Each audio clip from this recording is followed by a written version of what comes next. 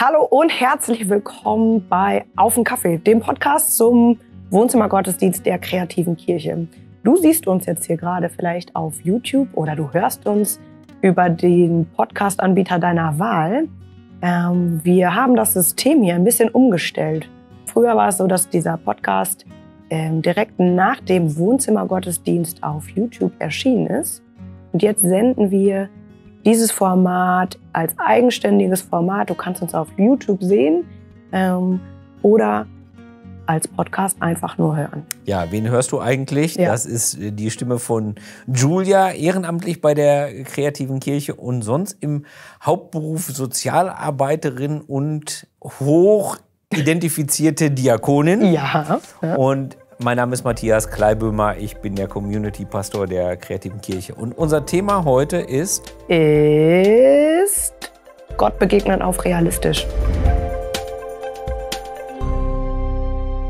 Matze, warum diese Folge? Nimm uns mal mit rein. Was ist der Hintergrund? Warum brauchen wir das? Warum müssen wir darüber sprechen, ähm, wie wir Gott realistisch begegnen können? Ja, ich glaube, das ist das wesentliche Top-Mega-Thema für Christinnen und Christen. Ich kann dir auch sagen, warum. Ich glaube, jetzt, wo wir in so einer Zeit leben, wo man nicht mehr aus Tradition in die Kirche geht oder aus Gewohnheit oder so, sondern wo man sich bewusst dazu entscheidet, gibt es eigentlich nur zwei Motivationen. Entweder dir ist Gott begegnet und hat irgendetwas verändert in deinem Leben, oder du hast die Sehnsucht danach. Ja. Deswegen glaube ich, es ist eigentlich das super zentrale Thema, was die Motivation angeht, sich wahrscheinlich auch den Podcast anzuhören. Ja, auf jeden Fall. Und warum das, dieses Ding mit realistisch? Ja, wer nicht damit rechnet, dass ihm Gott begegnen kann, der ist kein Realist.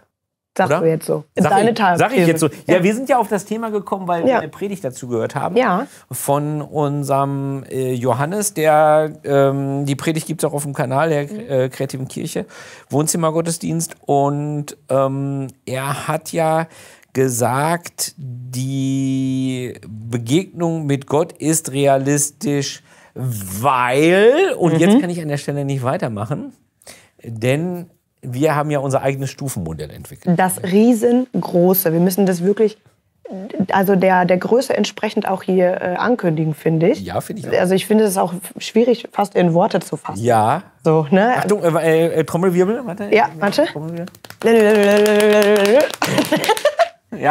Wir Ja. präsentieren das äh, Gottesbegegnungsstufenmodell nach Matze und Julia. Genau, wenig Theologie, viel Erfahrung. Ja, auf so jeden Fall. äh, wollen wir es angehen. Ja, Das heißt, immer. wir haben uns einfach Gedanken gemacht, wo haben wir eigentlich das Gefühl gehabt, dass uns Gott begegnet ist. Und äh, wir haben vier Stufen herausgefunden, Mhm. die, die man vielleicht nicht so durchschreiten muss, aber die praktisch äh, in der Intensität steigen. Mhm. Und ich würde vorschlagen, wir beginnen mal mit der ersten Stufe. Stufe Ja. 1. Und wir haben verabredet, Julia lässt sich jedes Mal ein neues Jingle dafür einfallen. Okay. Stufe 1. Dililili. Die Begegnung mit Gott in der Liebe. Das war ja eine These aus der Predigt, die wir gehört haben. Gott ist die Liebe und deswegen begegnet uns Gott immer dann, wenn wir Liebe erleben. Und das ist ein Punkt, wo das Modell nach Matze und Julia sagt, stimmt. Geht Ja. ja auch so, oder? Ja, auf jeden Fall. Ja. Ich kenne ganz viele Menschen, wo ich so denke, boah, dass die so gut zu mir sind oder Mhm. ähm, jetzt in diesem Moment bei mir sind oder genau das gesagt haben, da merke ich, das ähm, kann kein Zufall sein irgendwie. Und da merke ich ganz oft äh, Gott, der mir Menschen an die Seiten stellt. So, ne? links und rechts und oben und unten. Da weiß ich einfach, okay, da, da fühle ich mich getragen und begleitet. Und das ist für mich ganz nah und erfahrbar, dass Gott dann da ist, weil er durch diese Menschen zu mir spricht. Und äh, wie kommt dir diese Gewissheit? Ah, Wie kommt mir diese, also ich glaube halt, mh, wenn du durch so eine, durch so eine richtige Krise gehst, dann kannst du ja daran verzweifeln. So.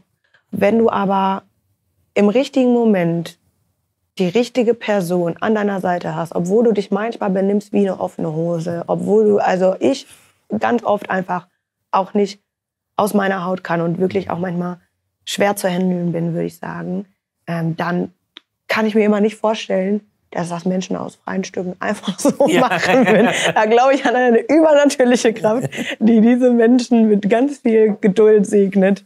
Und ähm, ja, Gott, der da seine Hände im Spiel hat, kann ich mir gar nicht anders vorstellen. Und ja. bei dir? Ja, ist bei mir so ähnlich. Also, dass ich schon denke, das ist jetzt so wunderbar, dieser mhm. Moment, ähm, dass ich mir gar nicht vorstellen kann, wie das nicht von Gott sein kann. Mhm. Also ich, ich, das ist ja so, dass man jetzt Menschen wirklich liebt. Mhm. Nicht nur schwärmt oder so, sondern mhm. wirklich liebt und, äh, und dann auch schwere Zeiten miteinander durchsteht, auch komplizierte Zeiten und so und dann und, und auch trotz äh, unterschiedlicher Meinungen nicht auseinandergeht und Widersprüche aushält und dieses alles. Mhm. Das ist ja so ein seltenes Geschenk. Mhm. Und äh, das ja, ich, ich, ich habe dann, ich, also ich habe das auch manchmal, dass ich dann so äh, in der Situation praktisch wie so eine, äh, also würde ich mich quasi gerade im Moment von außen sehen. Mhm, ja. Und so nach dem Motto, jetzt guck dir das mal wirklich an, was gerade hier passiert dass ich das erleben kann, das ist doch Gnade. Das sind so mhm. Momente, da, da hast du irgendwie als Jugendlicher mal von geträumt, dass dir sowas begegnet, mhm. ne, dass mhm. du einen Menschen findest, mit dem du dein Leben teilen kannst oder mhm. so. Ne? Auch Freunde findest zum mhm. Beispiel. Ne? Und dann, dann bist du in der zweiten Lebenshälfte irgendwie und ja, es ist tatsächlich passiert. Und mhm. das ist so wunderbar, gerade weil ich so oft auch erlebe, dass das nicht funktioniert. Ja. Ja, und das ist dann eigentlich, das ist ja dann eigentlich der, der, der Punkt, wo das dann halt so manchmal so unrealistisch ist, dass man selber so, so ein Glück hat irgendwie. Und das ist der Punkt, wo ich denke, okay, das ist, ähm, das ist ein Geschenk und das ähm, hat nichts mit Zufall zu tun. Das ist Gott, der mhm. da wirkt und mir begegnen möchte. Ja. ja. Jetzt gibt es ja auch Kritiker, die sagen, das ist Glaube und so weiter gibt es nicht. Die sagen dann immer sofort, ja, was ist denn dann aber wenn du äh, genau das nicht spürst? Mhm. Ist das dann auch Gott gewesen? Mhm. Also wenn ich jetzt nicht spüren würde. Ja, genau. Also wo ist Gott dann, wenn du das nicht erlebst? Mhm. Ja gut, dann ist es vielleicht nicht unbedingt diese, diese Liebesdimension, in der sich mir zeigt oder so. Also aber ich glaube, nur weil ich das nicht, nicht unbedingt wahrnehmen kann, heißt das ja nicht, dass Gott nicht wirkt in meinem Leben. Ne? Und das ist das Ding. Also wenn Ganz ich halt genau die ganze Zeit die Augen zumache, und auch das ist oft genug vorgekommen, kommt auch immer noch vor. Ja, ähm, kenne ich auch. So, dann sage ich, boah Gott, jetzt könntest du aber auch mal dich jetzt hier sehen lassen irgendwie, das wäre schon echt gut. Und dann irgendwann denke ich so, ach so, ja, sorry, ich war ja die ganze Zeit da. Ne? Ja, genau. Und ich finde auch, äh, man, man, man darf auch solche Gelegenheiten, wo man Liebe erlebt, mhm. genießen, ohne sich die Frage zu stellen, was ist eigentlich, wenn das nicht ist. Mhm. Weißt du, wie ich meine? Also das mhm. sind schon so Momente, wo ich denke, nee, ich will jetzt gar nicht drüber nachdenken, weil das ist keine intellektuelle Sache, sondern mhm. das ist jetzt der Moment, wo ich das einfach genießen möchte. Mhm. Ja. Ich will mich der Frage gar nicht stellen. Mhm. Boah, ist das bei dir manchmal auch so? Ich ähm, denke gerade irgendwie auf eine andere Ebene. Wenn, also ich, ganz oft habe ich so Momente, wo ich so denke, boah, habe ich ein Glück, boah, bin ich gesegnet, boah, ist das, ist das schön, ne, wie du das mhm. gerade beschrieben hast. Mhm. Und aber ganz oft denke ich auch, boah, wenn ich irgendwie so Leid erlebe oder sehe, ne, irgendwas passiert oder ich gucke einen traurigen Film und so, dann denke ich so, boah, ähm, das ist so, es tut mir so unendlich leid für die Menschen und dann, dann fühle ich mich noch mehr selber beschenkt. Geht dir das auch so? Das ist nur bei mir so. ja, es macht demütig. Mhm. Also ich fühle mich dann nicht beschenkt in dem Augenblick, würde ich sagen. Es macht mich, es macht mich demütig und erinnert mich daran, dass ähm, das geschenktes Leben nicht nur heißt, diese großartigen Dinge zu erleben, sondern auch äh, den Alltag hinzubekommen zum Beispiel. Mhm. Ja. Oder etwas gestalten zu können, mhm. Freiheit zu erleben. Das, äh, ich würde es eher so demütig nennen. Weise Worte, Herr Klein. Ja, äh, nein, ach, gar nicht. Lass mal. äh, lass uns mal zur zweiten Stufe ja? kommen, äh, der Gottesbegegnung. Mhm. Die zweite Stufe und das Jingle. De, de, de, de, de. Sehr gut. Und zwar äh, in der Nähe Gottes sein, mhm. haben wir die genannt. Ja. Also einfach das Gefühl zu haben, okay, Gott ist jetzt nah. Mhm. Hab ich. Öfter schon gehabt. Mhm. Ganz oft auch. Äh, in Gottesdiensten, Ja. wenn ich selber mitsinge äh, Mhm. oder auf der Bühne im, den Lobpreis anleite und das Gefühl habe, dass da, dass da eine, eine Resonanz erzeugt wird im, im Raum, dass da eine Gemeinschaft ist und so. Und dann stelle ich mir oft vor, okay, weißt du was, einer, einer sitzt jetzt hier. Mhm. So, und einer äh, stiftet das jetzt alles, dass wir hier zusammen sind und dann, das Gott. Also der sitzt jetzt mitten hier und manchmal steht er auch so, ne, wenn ich irgendwie ähm, bete oder ähm, ein Gedanken zu, zum Song kommt oder zu einem Bibelvers kommt irgendwie, dann habe ich manchmal so wirklich das Gefühl, okay, das ist jetzt kein Ding in so einem luftleeren Raum, sondern ich weiß, ähm, der ist jetzt wirklich next to me. So. Heilige Momente. Oder, Kennt- oh, Entschuldigung, Sag mal ruhig. Oder, das hat vielleicht äh, jeder auch schon mal gehabt, ähm, du kommst in so, eine, in so eine Kirche, die du dir im Urlaub irgendwo anguckst und so, und dann fällt so das Licht durch das Fenster. Mhm. Ja, ja, ja. So, und denkst so, oh, oh, richtig heiliger Moment auch. Ja. Heiliger Moment. Hat bei mir oft mit Musik zu tun. Mhm. Ähm, ich stehe ja nicht zum Singen auf der Bühne, wie du weißt. Schade. Hat schade. auch seinen Grund. ähm, aber es hat hä- häufig mit Musik zu tun, aber es nicht immer. Ne? Manchmal auch äh, in Predigten habe ich schon erlebt. Also wenn jemand wirklich die Menschen in so eine heilige Atmosphäre geführt hat oder Gott dahin geführt hat oder ich weiß gar nicht, wie ich es nennen soll. Ich kann, also es ist für mich ein bisschen so wie äh, zu den Füßen Jesu sitzen. Also wenn man sich das vorstellt bei den äh, bei den äh, Jüngerinnen und Jüngern, bei den Schülerinnen und Schülern, dass es einfach so eine heilsame Gegenwart gibt. Mhm. Und das habe ich ja zum Beispiel auch schon erlebt in der Natur, aber jetzt nicht so, äh, wenn ich jetzt so ganz erhabene Momente habe, die halt irgendwie, ich sag mal, jetzt ein tolles Bergmassiv oder ein tolles Panorama oder so, sondern das erlebe ich auch dann, wenn ich da alleine bin. Mhm.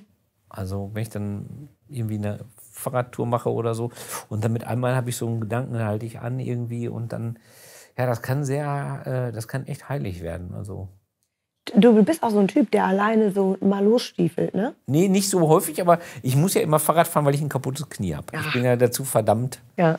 Äh, genau, zu, zu, äh, und, und äh, das ist aber, das, ich habe auch mal gehört, dass Ausdauersport einem helfen kann, in so eine meditative äh, Atmosphäre zu kommen. Aber ist natürlich kein Garant dafür, sondern das kann einem helfen.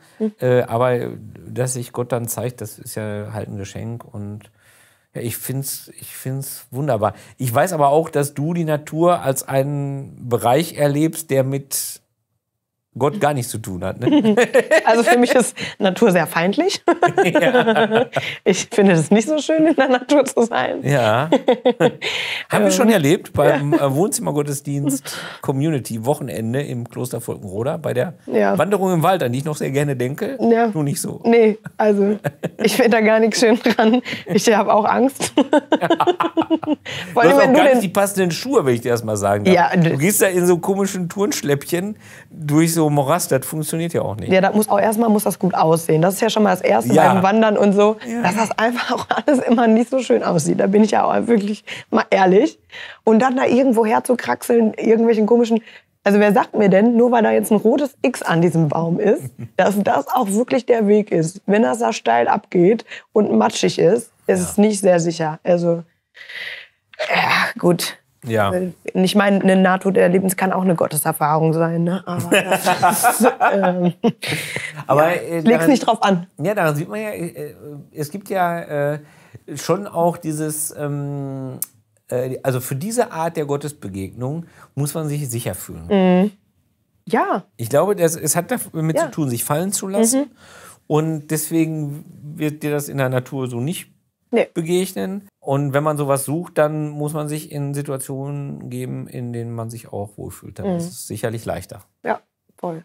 Also für diese Art der Gottesbegegnung. Ich glaube auch. Also natürlich, wenn, wenn ich jetzt irgendwie abends mit Freunden am Meer sitze, irgendwie so am Strand und so, ne, dann denke ich auch immer, krass, wie unendlich klein wir sind und so. Ne, dann, dann wird mir diese, diese Macht von Natur und so natürlich auch Ja.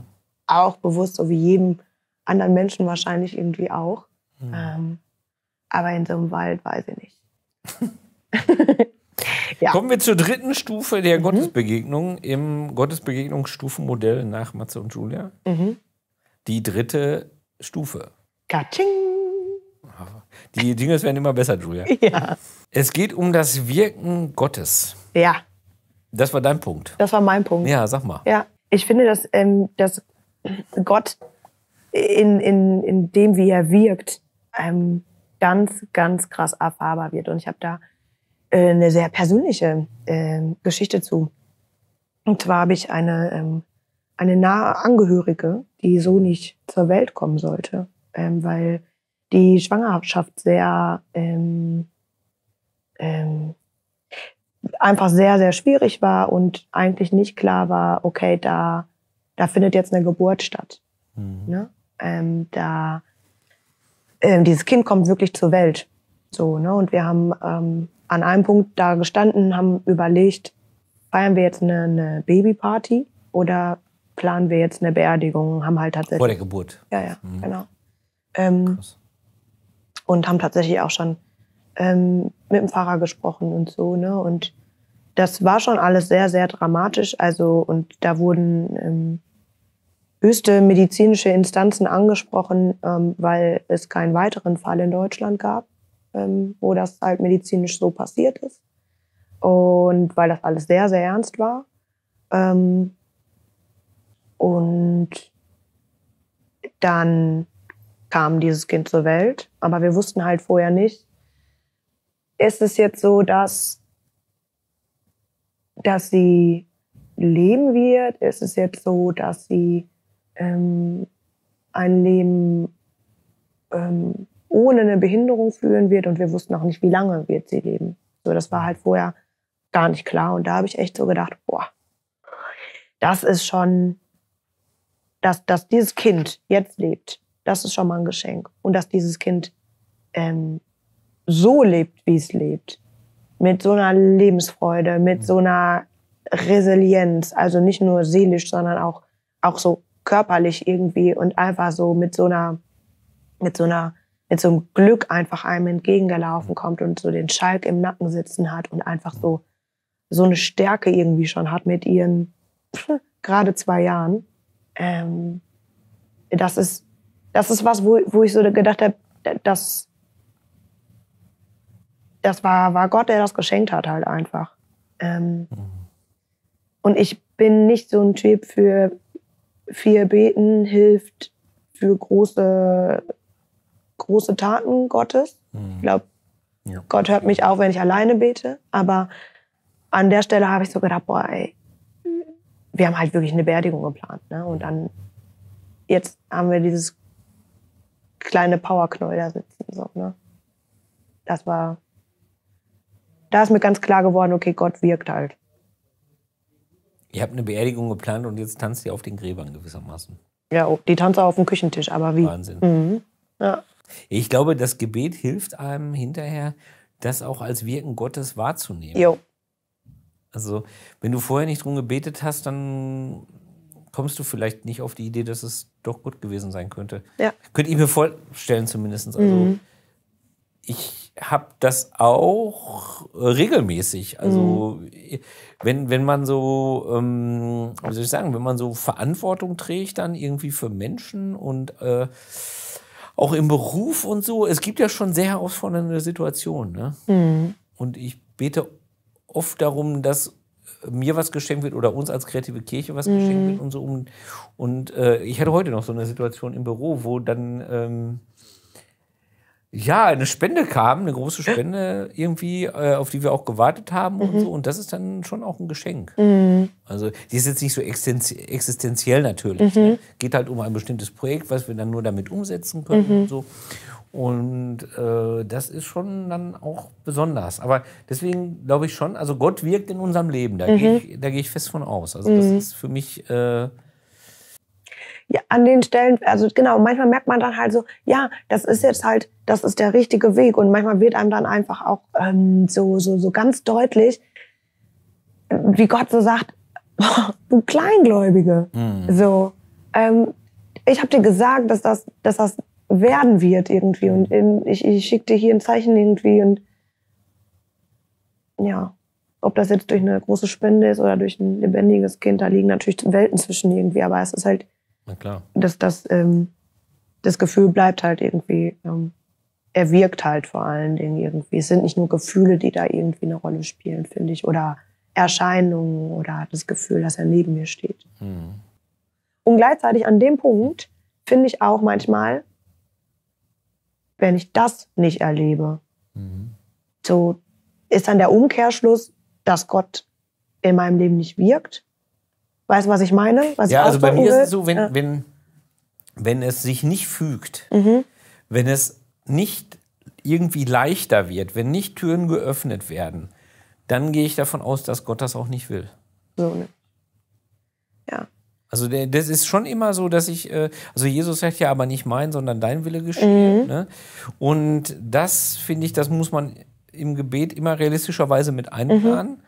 Und äh, dann ist es auch ähm, für mich persönlich auch okay. Genau, weil ich dann auch, Ja. also, ähm, also wäre jetzt zum Beispiel diese Spende nicht gekommen, dann wäre vielleicht klar gewesen, okay, ja, alles klar, dann ne, soll das vielleicht nicht sein, dann müssen wir vielleicht dieses Projekt anders denken, dann müssen sind Genau. wir da vielleicht Ja. auf dem auf dem Holzweg. Ne? An so einer Stelle ist das vielleicht harter so zu denken, aber irgendwie machbar. Anders ist das mit einem Kind, was nicht geboren wird. Ne? Also so da dann zu sagen, okay, dann soll es nicht sein, das ist also das ist hart, aber ich kann dir nur sagen, so wie es wie es uns, wie es mir da in dieser Situation ging, wir wussten trotzdem in dieser Situation, ähm, äh, selbst wenn das jetzt wirklich das Worst-Case-Szenario wird und wir hier wirklich ähm, demnächst eine Beerdigung ähm, äh, stattfinden lassen müssen, dann sind wir trotzdem von Gott getragen. So. Und dann ist das nicht unbedingt sein, sein Wille, dass dieses Kind nicht zur Welt kommt, aber ähm, dann kann er das vielleicht gerade nicht verhindern. So. Amen. Lassen wir das mal so stehen. ähm, ich möchte nämlich noch zum, äh, zur vierten Stufe kommen. Und mein Kaffee ist schon leer. Ah, das ist schwierig. Die vierte Stufe des Gottesbegegnungsstufenmodell nach Matze und Julia ähm, ist die Erscheinung. Ja, das ist das passende Ding. Das ist die Stufe, über die es am schwersten ist zu reden, Ja. äh, weil es am ehesten so ein Gefühl von, der hat sie nicht alle, die hat sie nicht alle erzeugen kann. Ähm, und trotzdem war es mir wichtig. Weil ich der Meinung bin, dass Gott zu treffen ist schon realistisch, aber es muss nicht immer in realistischer Art und Weise passieren. Sondern es kann auch in Träumen passieren und auch in Arten und Weisen, die größer sind, als wir so fassen können. Also ich will jetzt nicht so esoterisch klingen, ähm, aber ähm, also äh, Paulus hat ja sein Berufungserlebnis auf dem Weg nach Damaskus ähm, äh, so, dass er eine Erscheinung hat und was hört, beziehungsweise in der anderen Erzählung heißt es nur, dass er was gehört hat. Aber ich habe es auch schon erlebt, zweimal in meinem Leben. Und ich sag, das ist genauso von der Art her, wie das bei Paulus aufgeschrieben ist. Willst du das näher erzählen? Jetzt habe ich mich geoutet. Nee, will ich nicht. Nee, willst du nicht erzählen? Kann ich nicht. Ja. Äh, ich bin nicht so weit. Also es ist schon Jahre her. Äh, ich kann es nur im ganz, also öffentlich geht das nicht. Okay. Das, das kann ich nicht. Äh, aber es ist so, dass man weiß, jetzt passiert es. Ich finde das mega spannend. Also ich glaube, ich bin noch nicht an dieser Hm. Stufe, Stufe 4 gewesen. Weiß ich nicht, vielleicht doch. Ich weiß es nicht. Aber vielleicht ja du, ähm, der oder die du uns zuhörst. Ja. Das ist generell mal eine Frage. Also ich fände das mega interessiert. Ihr könnt ja mal in die Kommentare schreiben. Ähm, habt ihr irgendwie eine dieser, dieser vier Stufen, die wir euch jetzt vorgestellt haben, Gott begegnen in der Liebe ähm, zu Menschen oder mit Menschen oder von Menschen, Gott in, der, in seiner Nähe ähm, begegnen, im Gottesdienst, in Musik, ähm, in, In der Natur nicht zu in der. Natur, ganz, ganz wichtig für Herrn Kleibömer Ja. ähm, äh, Gott begegnen in seinem Wirken ähm, oder halt in, in einer Art Erscheinung. Ähm, das würde uns sehr interessieren. Schreibt das doch mal in die Kommentare. Ähm, können wir da uns mal drüber austauschen. Ich glaube, wir sind, also ich bin nicht die Einzige, die nicht so oft so, so eine Erscheinung hat. Aber ich bin sehr darauf gespannt, ähm, wie ihr Gott am meisten erlebt. Und wie viele Leute wirklich hier Gott in der Natur erleben. Also jetzt mal ganz ehrlich. das ist nicht realistisch. Ne? Also ich, ich ja. wollte mal sagen, so, so zur Entlastung. Also mhm. äh, ich glaube ja, dass ähm, Gott grundsätzlich äh, frei ist, indem wie er sich äh, zeigt. Mhm dass das gar nicht verfügbar ist, und ich weiß, dass du das auch glaubst. Mhm. Ähm, und ähm, wenn sich das nicht so ereignet, wie man es gerne hätte, mhm. dann ist das nichts, wo man selber einen Fehler gemacht hat mhm. oder wo man versagt hat oder wo man nicht genug dies oder nicht genug das gemacht hat, mhm. sondern es ist einfach die ganz normale Erfahrung von Menschen, die gläubig sind, dass es Krisen gibt, dass Gott sich nicht zeigt, dass man fragt und keine Antwort bekommt. Richtig. Oder? Ja, absolut. Johannes hatte das doch auch mal in irgendeiner Predigt gesagt, so dieses ganze, hm. ähm, dieses ganze Ding von ähm, das Gefühl haben, von Gott muss jetzt irgendwie eingreifen und ich muss jetzt ein krasses Wunder erleben und so. Wir lesen davon in der Bibel, wir, wir, wir lesen die Wirkungsgeschichten und sowas und denken so, ja klar, ey, eigentlich müsste jetzt heute hier irgendwie ein Gelähmter durchs Dach ge ge gebeamt werden ja, irgendwie, ja. ne? Und morgen muss eine Blinde irgendwie geheilt werden. Warum passiert mir das eigentlich nicht? Aber das ist once in a lifetime in diesen ganzen Lebensgeschichten und vielleicht passiert das auch nicht jeden Tag einfach. Genau, also man äh, darf sich nicht der Fantasie hingeben, dass alles, was in der Bibel steht, sich in einem kleinen Leben auch ja. ereignen muss. Sondern ja. Genau, das sind so Once-in-a-Lifetime-Dinger. Deswegen habe ich ja auch gesagt, ich habe äh, das zweimal so krass erlebt mhm. und ich rechne eigentlich damit, dass mir nicht nochmal passiert im ja. Leben. Du bist ja auch schon 50, ne? muss man ja auch mal sagen. Ich bin nicht 50, Julia, ich bin 47. Ja. Was ein großer Unterschied ist. Und äh, ja, man kann auch Gott erleben im äh, Laufe der Jahre. Deswegen ja. bin ich froh, dass ich diese Jahre auf dem Buckel habe. Ja. Lebenserfahrung, liebe Julia, ist auch ein großer Wert an sich. Ich sage dir immer. bin froh, wenn du bist ich ja auch schon 30. 25 immer. ja. So, jetzt sind wir bei einem ganz anderen Thema gelandet. Ja. Ich äh, fand, das war eine leckere Tasse Kaffee und mhm. freue mich, dass wir uns über das Gottesbegegnungsstufenmodell noch Matze und Julia unterhalten konnten. Ja. Im neuen Podcast-Format auf den Kaffee. Und ich danke dir, dass du dabei gewesen bist und ich hoffe, dass wir uns bei einer der vielen Gelegenheiten, bei einer der Veranstaltungen der Kreativen Kirche sehen. Ansonsten abonniere unseren Kanal, falls die Plattform, auf der du das hörst, das möglich macht. Und dann sehen wir uns alle zwei Wochen wieder oder hören uns beim Podcast auf dem Kaffee. Danke, dass du dabei gewesen bist.